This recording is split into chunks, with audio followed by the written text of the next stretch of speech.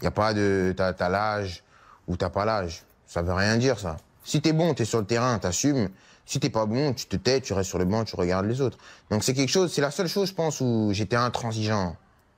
Dès que j'entendais l'âge, euh, j'avais les sourcils qui fronçaient. Moi, tu me parles pas d'âge. Tu parles peut-être quand je suis pas là, mais quand je suis là, tu me parles jamais d'âge. Tu me parles que de football et